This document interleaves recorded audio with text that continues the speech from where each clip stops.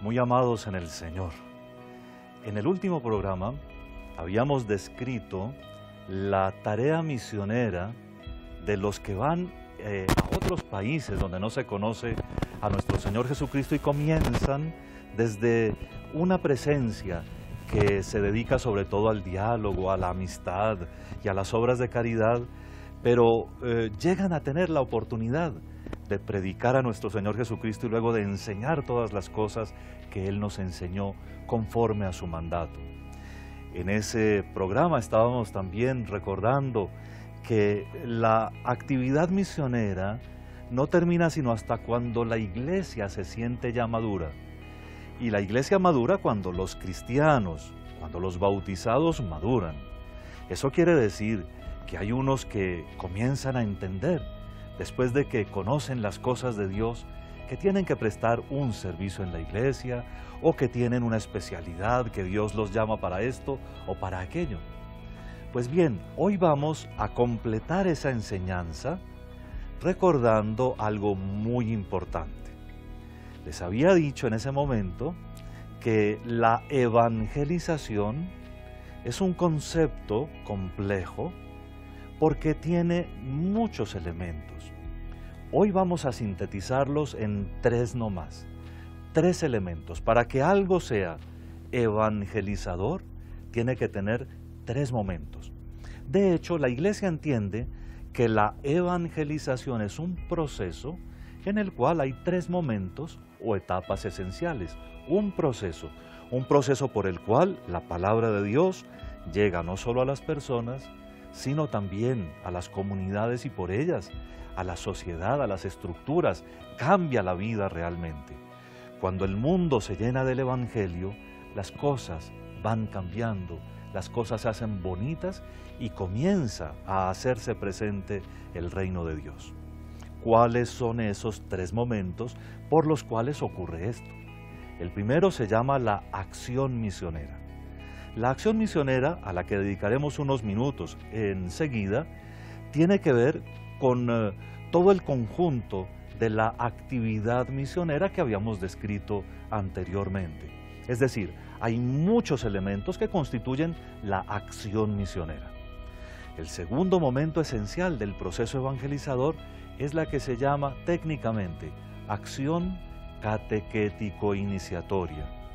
De ella hablaremos en el próximo programa, de tal manera que por ahora bástenos saber que después de la misión, después de la acción misionera, hay un proceso por el cual se nos educa en la fe, cuya herramienta principal es la catequesis y cuya finalidad es iniciarnos iniciarnos en las cosas de Dios, iniciarnos en la vida de la iglesia y sobre todo en la vida de los cristianos, de los discípulos de Jesús.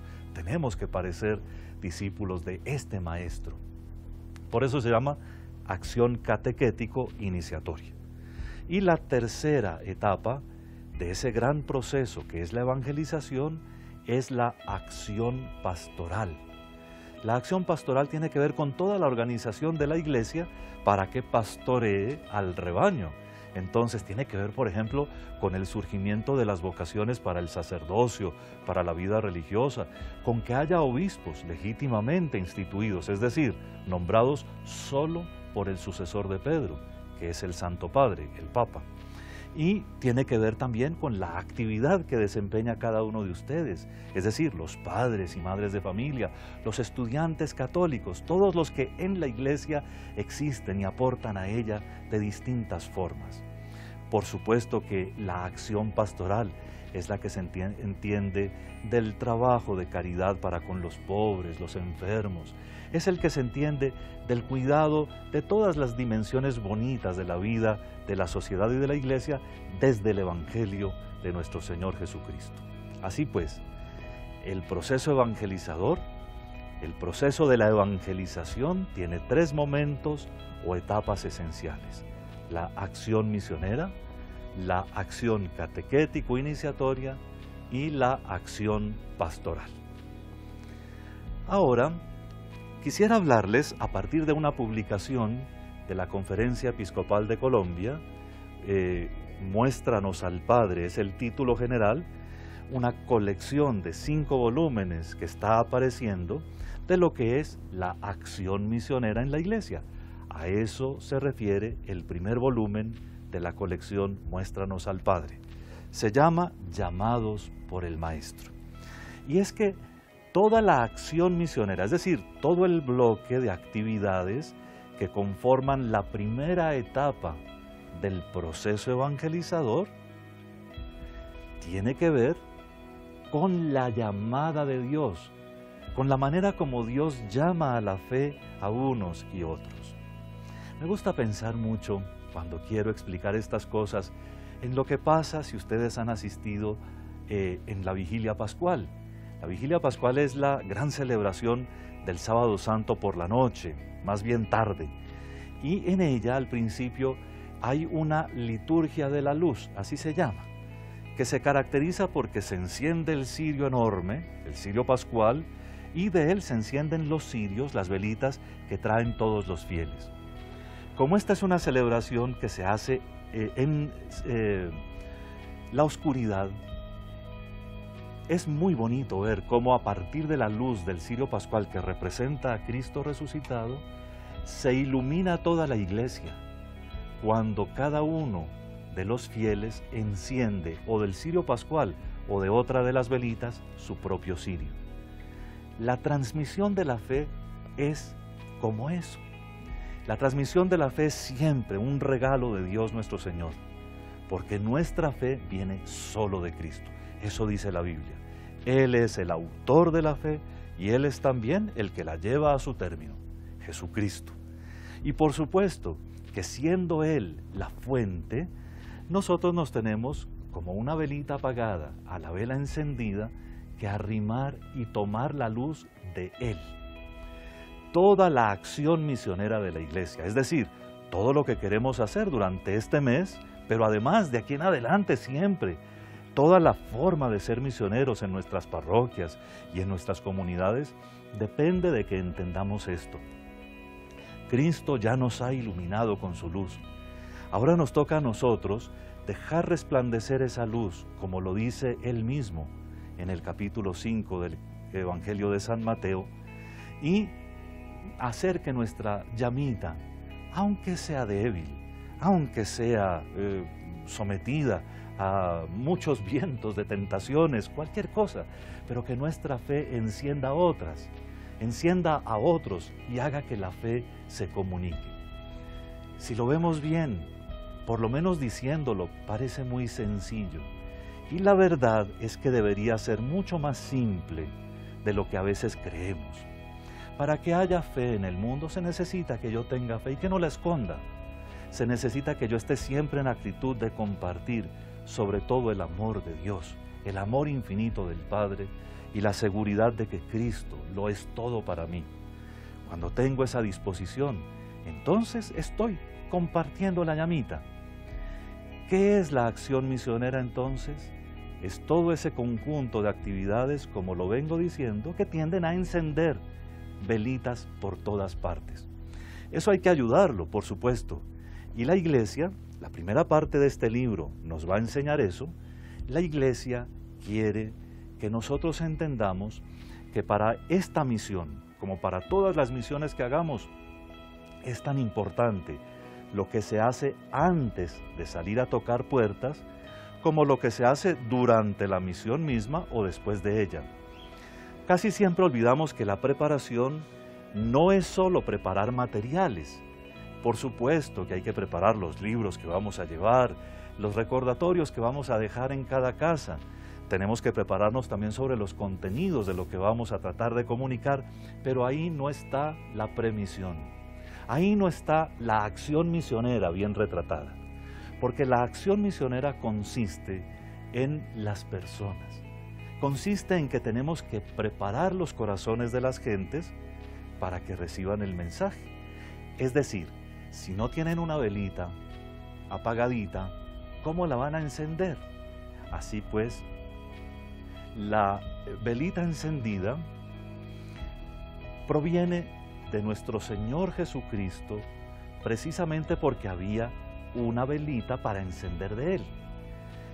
Cuando la acción misionera entiende eso, entonces hay que dotar de velitas a la gente. O bien, si lo pensamos con cuidado, tenemos que primero hacer simpática a la iglesia en los sectores o en los lugares, los barrios, los conjuntos, las veredas donde vamos a estar haciendo la misión, allí tenemos que hacer primero una visita, anunciar que vamos a tener una gran misión, comenzar a disponer los corazones, quizá poner algunas frases bien bonitas traídas del Evangelio o de otras partes de la Biblia, pero sobre todo hacernos amigos de las personas, lo que más va a facilitar que el día que prediquemos en la misión la palabra entre bien en los corazones, o mejor dicho, lo que más va a facilitar que la velita apagada se encienda es que nos hagamos amigos. La gente toda, como usted y como yo, todos somos sensibles al valor de la amistad. Si nosotros dejamos que mm, las personas simplemente reciban como si estuvieran eh, viendo un evento las cosas, quizá no vamos a tener tanta eficacia, por supuesto de Dios, de parte de Dios, como lo lograríamos si hacemos una preparación adecuada. Durante todo el tiempo, es decir, antes y durante la misión, tenemos que hacer también diálogos constructivos. Una de las cosas más importantes para el mundo de hoy y para cualquier persona, también para los primeros, era entender las cosas, entender por qué, entender para qué se hace esto, entender cómo y cuándo, es decir, una cantidad de preguntas. Pero hoy en día quizá sea muy importante que ayudemos a la gente a entenderse a sí misma, a entender el mundo en el que estamos viviendo, a ver cuáles son las amenazas reales de la fe, que siempre quieren señalarlas en algunos puntos, pero que muchas veces están justo en el corazón de cada uno.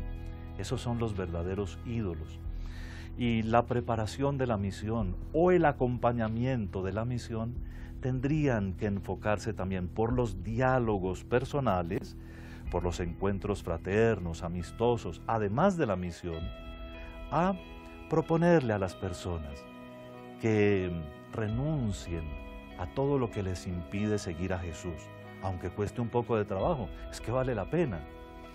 En fin, los dejo con la idea de que la misión no es solo el eh, momento, quizá de una semana o dos semanas, en el que nos desplazamos por las calles de las parroquias o por los eh, senderos rurales de casa en casa a comunicar la palabra de Dios, sino que la misión comienza desde antes y sigue después, sigue. Y que sigue por medio de diálogos en los cuales damos razón de la fe, enseñamos algunas cosas, procuramos que todo el mundo vaya captando. Y aquí viene el punto central de cuanto vamos diciendo, intentamos que se logren dos metas, dos metas. Toda la acción misionera tiene dos metas que tenemos que perseguir en todo lo que hacemos, bien sean los avisos que ponemos en las calles de la ciudad o en las veredas, bien sea en los diálogos personales, bien sea también en la visita de la misión. Y esas son, primero, que la gente responda con fe. Es decir, que invitemos todos al otro, al que nos está escuchando, a hacer un acto de fe. Creo, Señor, te acepto, te recibo en mi corazón. Ese es el acto de fe. Y segundo, la segunda meta, la conversión. Que todo el mundo diga, por lo menos, yo quiero seguirte a ti. Yo de aquí en adelante quiero ponerme en tu camino. Sé que me falta mucho, pero eso no es lo importante. Lo importante es que hoy comienzo y para eso quiero dejarme educar, quiero dejarme educar en esta experiencia preciosísima que es la fe que acabo de recibir, la luz que se acaba de encender en mi corazón. De esta manera, la acción misionera de la iglesia no se agota, como lo he dicho varias veces, en la visita casa por casa. La acción misionera es un conjunto de actividades entre las cuales está ciertamente la misión, pero que tienden a que todas las personas alcancen esa doble meta de la fe y de la conversión iniciales, de la fe y de la conversión que se quieren dejar educar, que se quieren dejar llevar a una plenitud de dicha, a una plenitud más grande. En este libro, en la parte final, la tercera parte, encontrarán 12 encuentros muy prácticos para que durante 12 semanas, después de la misión, ustedes se reúnan, los eh, eh, revisen y realicen los ejercicios que allí se proponen. Con esas 12 catequesis, así se llaman, vamos a comenzar lo que se llama la postmisión. Y esos 12 encuentros nos pondrán al tanto de todo aquello que constituye el núcleo del primer anuncio cristiano, de nuestro deseo de crecer en la fe y en la conversión. Se los recomiendo. Es muy importante que lo consigan en la Conferencia Episcopal de Colombia, en su parroquia, en su diócesis.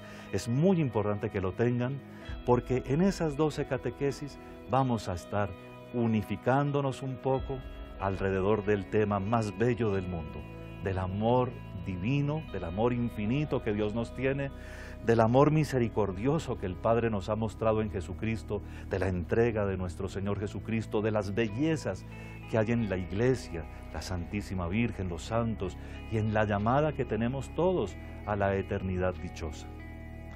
Termino nomás eh, diciéndoles con todo afecto que mm, durante esas doce semanas ustedes, los que son ya misioneros, o los sacerdotes que nos están escuchando, dediquen el tiempo más precioso de cada día a escuchar a las personas que están comenzando su camino. Recuerden, la acción misionera incluye el diálogo fraterno, la revisión de las motivaciones y la búsqueda común. El pastor y el pastoreado, la ovejita con su pastor, la búsqueda común de esa doble meta sin la cual no sigue el camino, la fe y la conversión iniciales. A todos ustedes, pidiéndole al Señor que los llene de fe y que los haga crecer en el amor, los bendigo en el nombre del Padre y del Hijo y del Espíritu Santo.